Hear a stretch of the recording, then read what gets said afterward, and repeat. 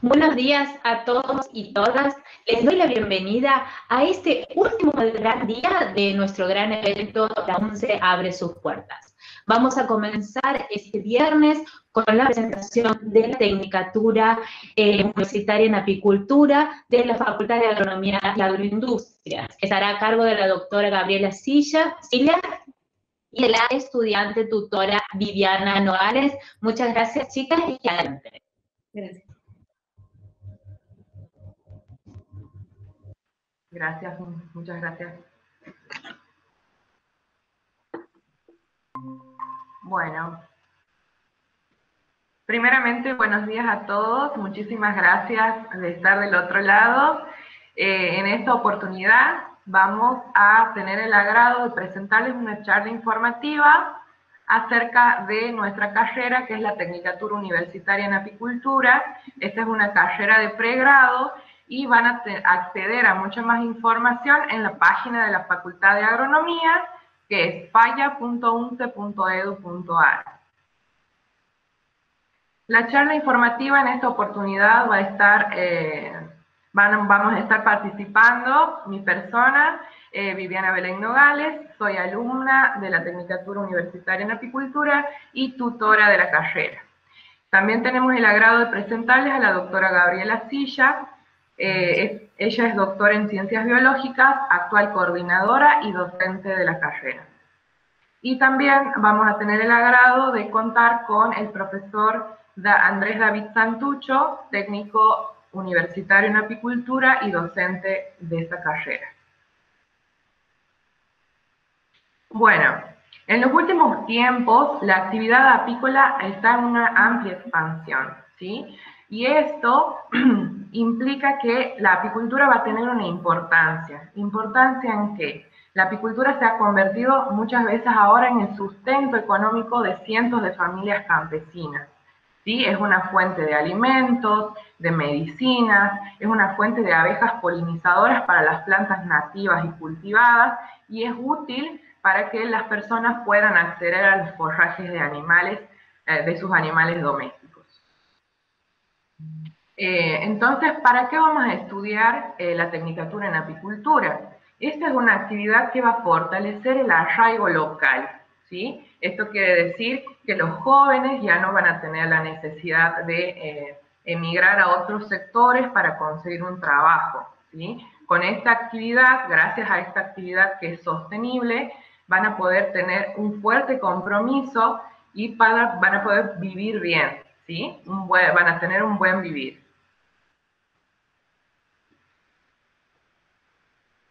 Bueno, la modalidad de la cursada es una modalidad presencial, el título es de técnico universitario en apicultura y el nivel del título habíamos dicho que era una carrera de pregrado, perdón, con una duración de tres años. Bueno, en cuanto a los espacios curriculares, contamos con 15 materias, 15 espacios curriculares, eh, tiene una práctica preprofesional y un, un trabajo integrador final. Bueno, voy a explicar un poco eh, de qué se trata esta práctica preprofesional. La idea es que el alumno en esta práctica que puede desarrollar tanto en apiario como en laboratorio, en laboratorios de cría de reinas, por ejemplo, en laboratorios donde se evalúa la calidad de los muebles, eh, en plantas, en plantas que envasan o que fraccionan el producto, el alumno va a tener su formación académica, profesional, va a poder integrar todos los conocimientos, las habilidades y las destrezas que adquirió a lo, largo de la carrera, va a entrar en contacto con el mundo laboral, va a terminar su formación también fundamentalmente humana, eh, va a poder definir su vocación profesional en las distintas líneas que puede ejercer como técnico y va a comprender esta relación fundamental entre lo que es la universidad y el medio social. Y el trabajo integrador es la redacción de un informe final integrador, justamente donde lo que va a hacer es contar de manera detallada todas las técnicas y las metodologías que aplicó a lo largo de su práctica preprofesional y articularla con todos los contenidos teóricos. Eh, con este informe integrador eh, vamos a poder evaluar la capacitación del técnico, su trayecto formativo. Bueno, cuando hacemos referencia a cuál es el perfil del título, ¿sí? El futuro técnico va a estar capacitado para realizar muchas actividades, como por ejemplo, intervenir en tareas de manejo y comercialización apícola, colaborar eh, para, una, eh, para una correcta recolección y gestión en relación a las tareas que va a llevar en el apiario, ser un auxiliar en el diagnóstico de posibles alteraciones de las, colmenas. También va, a ser capaz de poseer competencias para realizar las siguientes actividades, ¿sí? Intervenir con tareas de manejo dentro de un apiario, qué tareas hay que llevar a cabo, cuándo las tiene que llevar a cabo, para qué las va a llevar a cabo, eh, colaborar eh, en la identificación de especies vegetales de interés apícola, nectarífero y polinífero. También va a ser un auxiliar en la recolección de distintos productos de la colmena, como ser la miel, el polen, el polen ensilado, la pitoxina, propóleos y cera. Va a ser capaz de poder colaborar en cuanto a lo que es la producción comercial de miel, polen, propóleos, reinas, eh, celdas reales y núcleos. También vamos a poder colaborar en todo lo que es la producción comercial de lo que es apitoxina y jalea real, que son otros productos también de la colmena, y contribuir con una buena comercialización y gestión apícola eficiente. Bueno, eh, con respecto a los objetivos de la carrera, el alumno va a poder desarrollar eh, la capacidad de identificar y manejar los, los, aspectos más relevantes que hacen a una producción apícola. La idea de esta tecnicatura, que está inserta en la Facultad de Agronomía y Agroindustrias, es no solamente primar la rentabilidad de la actividad, sino que esta actividad también sea sostenible en el tiempo. Por lo tanto, la componente social y ambiental va a tener el mismo peso que la componente económica. Con respecto a los objetivos específicos, que van a ser los objetivos de los distintos espacios curriculares, donde manejo de apiario va a ser una materia transversal, vamos a tener tres manejos de apiario, dos de, dos de los primeros van a ser anuales, y va a haber una retroalimentación entre la teoría y la práctica. ¿Qué va a tener que saber el técnico apicultor? Va a tener que conocer los aspectos fundamentales de la morfología de la especie con la que va a trabajar. O sea, primero el alumno va a tener que entender al individuo abeja, para después comprender cómo funciona y poder manejar al superorganismo que es la colonia. En los individuos sociales va a haber una, modificación en cuanto a lo que es la, anatomía, va a haber una diversificación anatómica que va a determinar ciertas funciones dentro de la colonia. Por eso vamos a tener una abeja reina que se va a dedicar a la puesta de huevos, a la reproducción. Eh, vamos a tener los zánganos que van a colaborar con esta reproducción y las abejas obreras que se van a ocupar, según las distintas etapas de su vida, de las distintas actividades. Comprender el funcionamiento de los distintos individuos va a ser fundamental para entender cómo funciona toda la colonia. Estas abejas, las abejas son insectos que evolucionaron y evolucionaron hacia una alimentación, o sea, se valen de un nicho muy estrecho para alimentarse, que son las plantas en flor.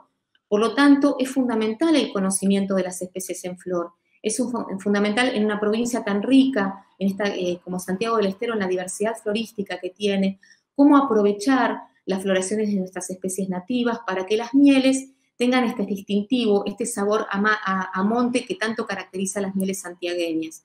Entonces, identificar las distintas especies, tanto las especies nativas como las cultivadas, aquellas que pueden hacer un buen aporte de polen. El polen es fundamental que tenga un buen contenido nutricional, un buen contenido proteico para el desarrollo, para, para el bienestar de la colonia y también conocer los néctares que pueden proveer para darle la calidad y la particularidad a las mieles.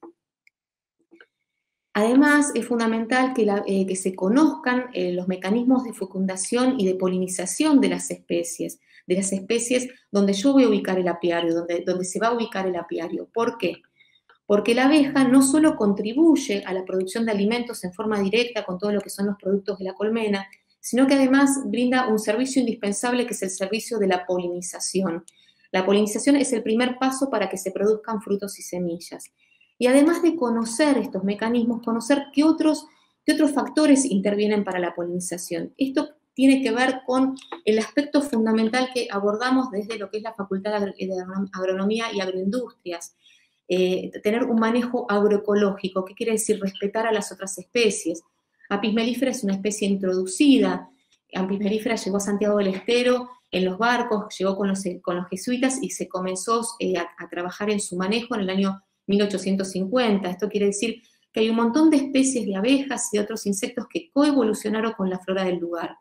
Si nosotros cargamos el ambiente con abeja extranjera, con la abeja apis mellifera, que por su estrategia de supervivencia es una abeja bastante eh, generalista en el consumo de recursos, vamos a, estar, vamos, eh, vamos a estar perjudicando a nuestra apifauna nativa.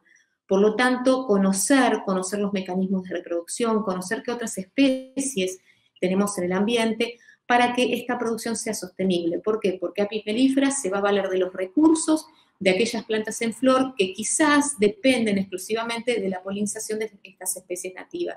En definitiva, conocer para que no entren en competencia las distintas especies de abejas con nuestra producción. Además, es fundamental conocer los aspectos de la nutrición y de la alimentación. De una buena nutrición va a depender la sanidad de nuestra colonia el, técnico tiene que hacer este salto de lo que es el individuo abeja al individuo colonia. No se enferma una abeja, sino que se enferma la colonia. No está en un buen estado la abeja, sino en un buen estado la colonia. Conocer de la nutrición y la alimentación eh, le va a permitir al técnico afinar aquellas, aquellas cuestiones de manejo ante la, eh, la imprevisibilidad, o sea, con el cambio climático, muchas de las especies en flor acortan sus periodos de floración, retrasan sus periodos de floración, eh, conocer las variables climáticas, conocer estos periodos húmedos, los veranos secos, cómo va a alterar en la provisión de alimentos. Por lo tanto, tiene que, conocer el buen manejo de, lo que son las prácticas de alimentación eh, artificial y que esto no termine interfiriendo en la calidad de las mieles. Una buena nutrición va a ser a, una buena, eh, a, un buen estado inmunológico de la colmena, a una buena eh, sanidad de las colonias. Por lo tanto, el técnico tiene que conocer aquellas enfermedades y aquellos insectos o aquellos organismos que pueden ser plaga para las abejas, porque una colmena enferma produce poco. Entonces va a ser fundamental el conocimiento de la sanidad apícola. Además, va a tener que tener conocimientos sobre lo que son las buenas prácticas de cosecha y acondicionamiento de los productos de la colmena. Cómo se realiza la extracción, cómo se realiza el transporte, van a ser fundamentales para no alterar eh, las características y eh, la calidad de las mieles. En la carrera, en el último año, van a tener una materia que es fundamental, que es control de calidad de los productos de la colmena. Esta materia va a desarrollar sus prácticas en el Centro de Investigaciones Apícolas, donde también pueden hacer su práctica preprofesional todos aquellos, eh, eh, eh, aquellas prácticas que no son adecuadas van a terminar repercutiendo en estos parámetros de calidad que nos van a, nos van a hablar de, ciertas falencias, por ejemplo, el recalentamiento de la miel, por ejemplo, el desoperculado con, con, cuchillos este, muy calientes, o sea, son prácticas que son habituales y que el técnico va a poder intervenir para modificar el manejo y para que no se altere justamente la calidad de los productos. Entonces, todos estos conocimientos teóricos van a contribuir, va a haber una retroalimentación entre la teoría y la práctica, van a contribuir al que el técnico desarrolle habilidades en todo lo que son las técnicas para la producción apícola. ¿sí? Va a ser fundamental que a, a, medida que vaya adquiriendo conocimientos teóricos, vaya avanzando en las distintas técnicas, por ejemplo, en las técnicas de mejoramiento, de la raza, en las técnicas de, cambio de reinas, en las técnicas de formación de núcleos, multiplicación de las colonias, que a la vez también pueden ser productos, también con estas floraciones eh, que tenemos, que son continuas, tenemos prácticamente 12 meses, 11 eh, meses de floraciones en la provincia de Santiago del Estero, uno de los productos de la colmena puede ser material vivo, como son ser los núcleos, la cría de reinas, eh, sea, que también se pueden contribuir a que la explotación apícola sea rentable, sea económicamente rentable. Por último, el técnico también se va a formar en aquellas técnicas de gestión, de gestión para que la explotación apícola sea económicamente rentable, en todo lo que sea el cálculo de, costos, de registros y fundamentalmente tener en cuenta las legislaciones provinciales, nacionales e internacionales que van a regular la actividad apícola. El técnico eh, debe, debe em, eh, debe asesorar a los productores para que estos se inscriban en el, registro de productores nacionales. Esto le va a permitir acceder a créditos cuando, cuando el productor es informal, no puede, no puede acceder a lo que es este, a lo que son las capacitaciones técnicas en, territorio, que por ejemplo provee el departamento apícola, ¿sí? Y que, y que, bueno, y que Andrés, que no, tuvo, no pudo estar en este momento porque se lo afectó en tareas a campo, eh, nos dejó un breve video para explicarnos cómo es esta actividad.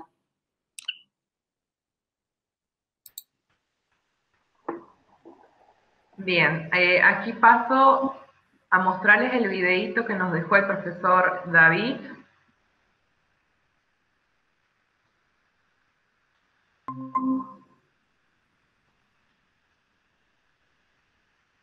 Buenos días, me quiero presentar. Yo soy Andrés Santucho, técnico egresado de la Facultad de Agronomía y Agroindustria.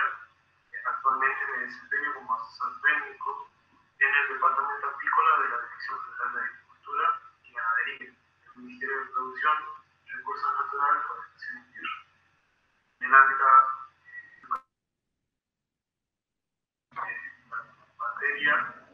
producción agrícola, eh, la EFA LL29, la Universidad de Guasla, Atamiqui.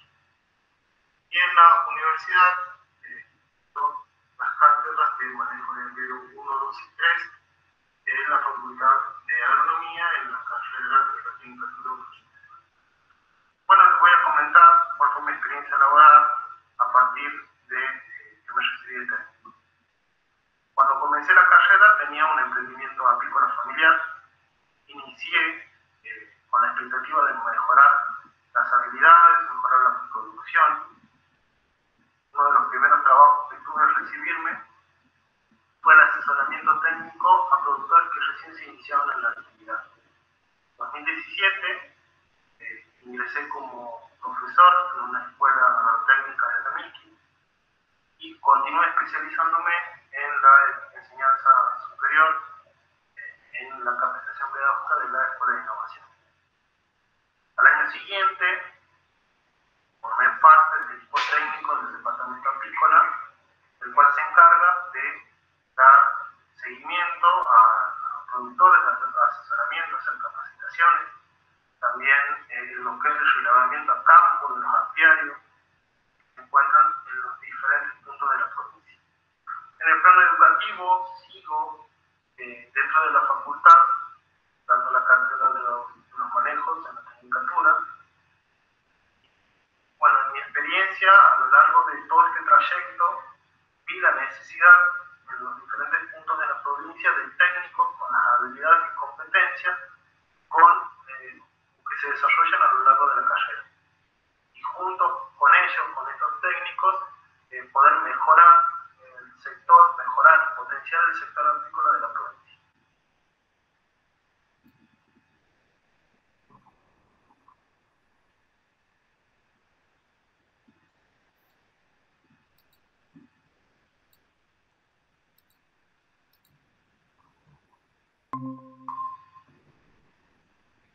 Bueno, eh, espero que esta charla haya sido de su agrado. Eh, como dije anteriormente, para más información pueden encontrar en la página de la facultad, eh, falla.unce.edu.ar, también la otra página que es estudiantesfalla.com.ar y está el área de tutorías, donde, bueno, tienen mi, mail de contacto eh, y el mail de tutorías también. Bueno, bienvenidos y muchísimas gracias. Doctora Gabriela, si tiene algunas palabras. Bueno, los invitamos a consultar, eh, está el área de tutorías, también ustedes pueden entrar a la página de la facultad, donde está todo indicado sobre el tema de las prescripciones, las inscripciones, también eh, va a figurar en mi mail como coordinadora de la Tecnicatura y pueden hacer absolutamente todas las, consultas que crean necesarias. Estamos a disposición de ustedes. La idea es que, es que se pueda desarrollar la, eh, actividad apícola en nuestro territorio, eh, y que ustedes puedan volver, los alumnos del interior puedan volver y puedan realizar su, actividad en su lugar de origen. Eh, con la práctica preprofesional, muchos de nuestros alumnos del interior pudieron desarrollar la práctica en las escuelas donde realizaron el nivel medio y ahora tienen la, oportunidad de desempeñarse como profesores de apicultura ¿sí? en sus pagos, en su localidad. Por lo tanto, estamos viendo que la tecnicatura favorece no solo al arraigo, sino también a que eh, el alumno, el, técnico, sea referente en su, propia, en su propio lugar, en su, lugar de origen, no tenga que, buscar trabajo, eh, no tenga que emigrar para encontrar trabajo.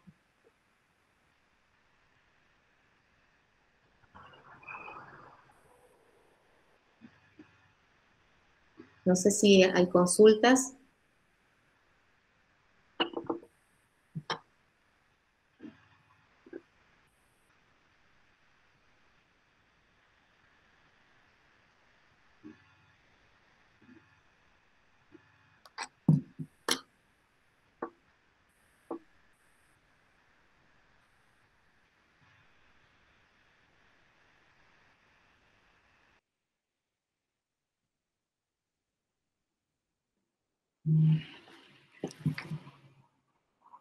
No hay consultas, nos acaban de informar que no hay consultas. Bueno, los esperamos, estamos a disposición. Eh, bueno, y Viviana, Viviana los, va a estar, asesorando sobre las prescripciones, sobre la presencialidad, cómo se van a desarrollar las actividades en un futuro. Muchas gracias. Muchas gracias.